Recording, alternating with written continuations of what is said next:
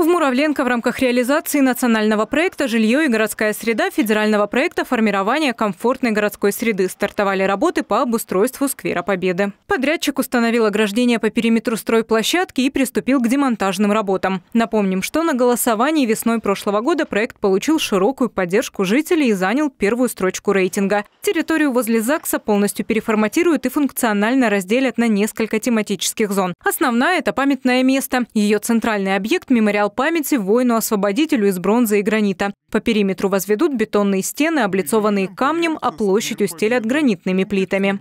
Будут э, установлены э, макеты э, макеты деметаллизированной техники военной и будут установлены стенды городов-героев. А также по периметру объекта будут установлены малые архитектурные формы, скамейки, урны, будет смонтировано новое уличное освещение. В связи с началом строительных работ по обустройству Сквера Победы с 20 апреля по 15 сентября частично будет перекрыто пешеходное движение на прилегающей территории. Муравленковцев просят пересмотреть привычные маршруты передвижения.